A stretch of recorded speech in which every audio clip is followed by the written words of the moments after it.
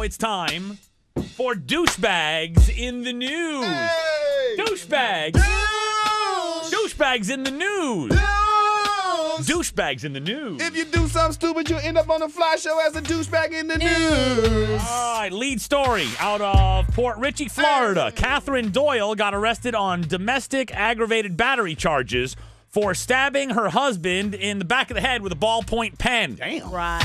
Uh, she was booked into the county jail after she stabbed her husband in the head with a ballpoint pen. A witness at the jail saw Katrina move a, uh, remove a bag of pills and a syringe from her backside once she was placed into the cell.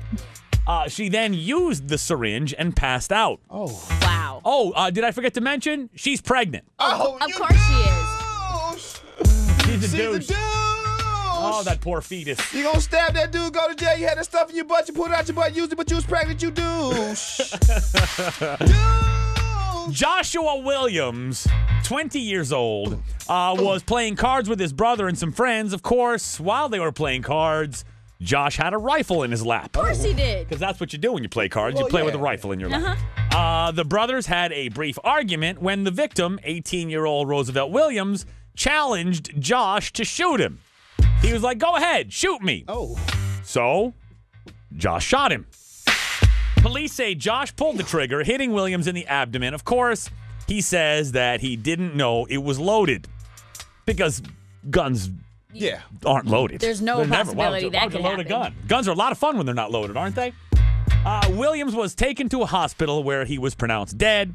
Josh was arrested and charged with second degree murder and first degree douchebag because he's a douche. He's a douche. A big douche. Douche. Big, big, big douche. Just because your brother dared him to shoot him don't mean you had to. Damn, you ain't know the gun was loaded, you dummy. You douche. Uh, an Apple Valley, California man asked his son, Arthur Camacho, 24 years old, if he wanted breakfast on Thanksgiving, mor- uh, Thanksgiving morning.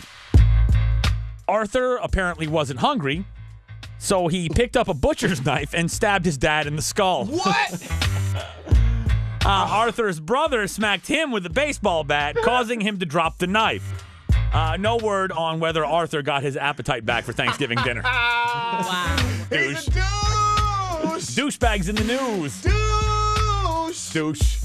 All he asked you was you hungry. Why you gonna stab your dad? He made you. You douche. Douchebag. Hey.